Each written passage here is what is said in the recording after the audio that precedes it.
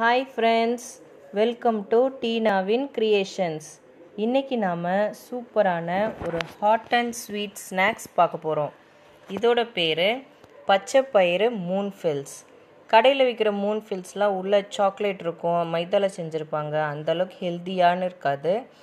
அதனால் நம்ம வீட்டிலையே சூப்பரான ஒரு ஹெல்த்தியான ஸ்நாக்ஸ் பசங்களுக்கு செஞ்சு கொடுக்கலாம். இது ரொம்ப பிடிக்கும் நல்ல டேஸ்டியாக இருக்கும். வாங்க எப்படி செய்கிறதுன்னு பார்க்கலாம். ஃபஸ்ட்டு நம்ம மாவு ரெடி பண்ணிடலாம். ஒரு கப் கோதுமை மாவு இதில் போட்டுக்கலாம். ஒரு ஸ்பூன் சர்க்கரை. அப்புறம் தேவையான அளவு உப்பு.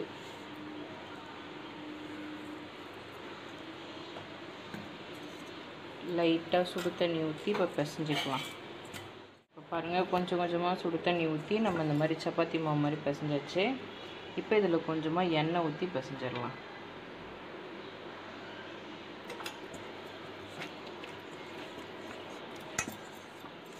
நம்ம மாவு ரெடி இதை அப்படியே ஒரு பிளேட் போட்டு மூடி ஒரு ஹாஃப் அன் ஹவர் ஊறட்டும். அப்புறமா இதை எடுக்கலாம். பச்சை பயிரை ஆறு மணி நேரம் ஊற வச்சு வச்சுருக்கேன். பாருங்கள் இதை நல்லா கழுவி க்ளீன் பண்ணிவிட்டேன் இப்போ இதை வேக வச்சிடலாம். குக்கரில் போட்டு கொஞ்சமாக உப்பு போட்டு வேக வச்சிடலாம். கொஞ்சமாக உப்பு சேர்த்துங்க. தண்ணி ஊற்றி ஒரு அஞ்சு விசில் வர வரைக்கும் நல்லா வேகட்டும். அஞ்சு விசில் வந்தோடனே ஆஃப் பண்ணிட்டேன். நல்லா விசில் ஆறிடுச்சு. ஓப்பன் பண்ணி பார்க்கலாம். பாருங்கள் நல்லா வெந்துருச்சு. நல்லா ஸ்மாஷாக வெந்திருக்கு. உங்களுக்கு தண்ணி இருக்கிற மாதிரி இருந்ததுன்னா கொஞ்சம் வடிகட்டி எடுத்துக்கலாம் நம்ம. பாருங்கள் தண்ணி நல்லா வடிஞ்சிருச்சு. இது ஒரு பவுலில் ட்ரான்ஸ்ஃபர் பண்ணிடலாம். பண்ணிவிட்டு இது கூட நம்ம தேங்காய் கொஞ்சம் துருவி போட்டுக்கலாம். அப்புறம் ஏலக்காய் வெல்லம். வெல்லம் போட்டால் தான் டேஸ்ட்டாக இருக்கும். வெல்லம் போட்டுக்கலாம். இப்போ இது எல்லாத்தையும் ஒன்றா மிக்ஸ் பண்ணிடலாம். இது நல்லா இப்படி ஸ்மாஷ் பண்ணிவிடுங்க. அப்போ தான் நல்லா மசியும். ஏற்கனவே நல்லா வெந்திருக்கு. ஸோ நல்லா இப்படி பண்ணாலே மசிஞ்சிரும். அப்போ தான் நமக்கு கரெக்டாக இருக்கும். நல்லா ஸ்மாஷ் ஆகிடுச்சு இது இந்த மாதிரி சின்ன சின்ன பால்ஸ் சின்ன சின்ன உருண்டையை அப்படி உருட்டி பிளேட்டில் அடிக்கிடுங்க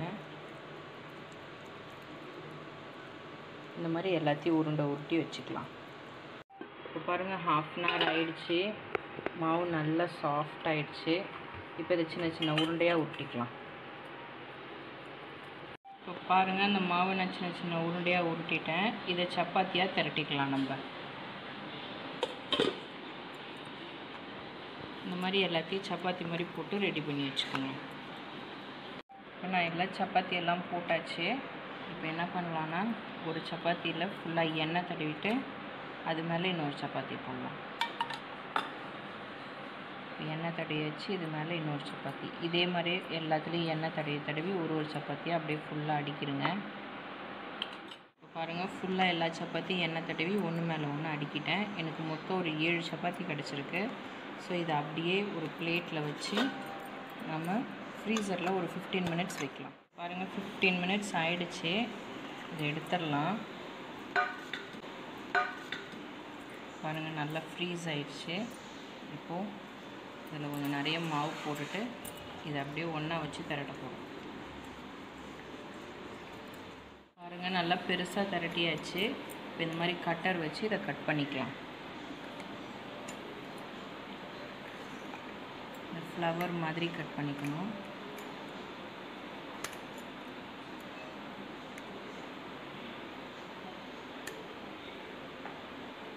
கட் பண்ண பீஸ்லேருந்து ஒரு பீஸ் எடுத்துருக்கோம்.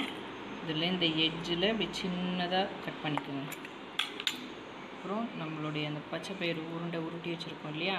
அதை இதில் ஃபில் பண்ணிக்கலாம். கொஞ்சமாக வச்சுக்கோங்க. நிறைய இருந்த மாதிரி இருந்தால் கொஞ்சமாக வச்சுக்கோங்க.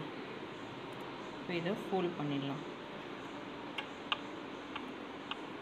ஃபோல்ட் பண்ணி இந்த மாதிரி ஃபோல்ட் பண்ணிவிடுங்க சைட்லேயும் க்ளோஸ் பண்ணிடுங்க இப்படி. கர்வ் கேர்வ் ஆக்கிடுங்க. அப்போ தான் அந்த மூன் ஃபில் ஷேப் வரும்.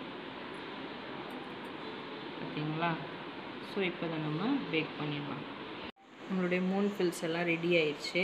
இதை நம்ம வேக வைக்கிறதுக்கு முன்னாடி இது மேலே லைட்டாக எண்ணெய் இல்லைன்னா பட்டர் இப்படி தடை விட்டுடுங்க. அப்போ தான் வெடிப்பு விடாது நல்லாயிருக்கும் வெந்த உடனே. இது மாதிரி எல்லாத்துலேயும் லைட்டாக எண்ணெய் இல்லை பட்டர் தடவி அப்புறம் வேக வைக்கலாம். இப்போ பாருங்கள் நம்ம ரெடி பண்ண மூணு ஃபில்ஸை இந்த மாதிரி கடாயில் போட்டுட்டு லைட்டாக எண்ணெய் ஊற்றி விடுங்க. ரொம்ப எண்ணெய் வேண்டாம்.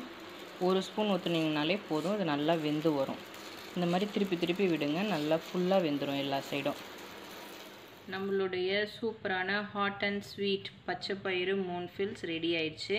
பாருங்கள் எவ்வளோ சூப்பராக இருக்குது இதில் ஆயிலும் கம்மி தான் அவ்வளோ ஆயில் கிடையாது. ஸோ ரொம்ப ஹெல்த்தியான ஃபுட்டு இப்போ பாரு பச்சை பயிறு சுண்டல் பச்சை பயிறு தோசை அந்த மாதிரி கொடுக்குறது போல் இந்த மாதிரி கொடுத்தீங்கன்னா பசங்க ஆசையாக சாப்பிடுவாங்க. இது உள்ளேயும் எவ்வளோ நல்லா பிரேக் ஆகிருக்கு பாருங்கள் பச்சை பயிறு இருக்கிறதே தெரியாது. செம்ம சாஃப்டாக நல்லாயிருக்கும். பசங்க அழகாக சாப்பிடுவாங்க. ஸோ இந்த வீடியோ உங்களுக்கு பிடிச்சிருந்தா லைக் பண்ணுங்கள் ஷேர் பண்ணுங்கள் சப்ஸ்கிரைப் பண்ணுங்கள் மணக்க மணக்க சமைங்க ருசிக்க ருசிக்க சாப்பிடுங்க. தேங்க்யூ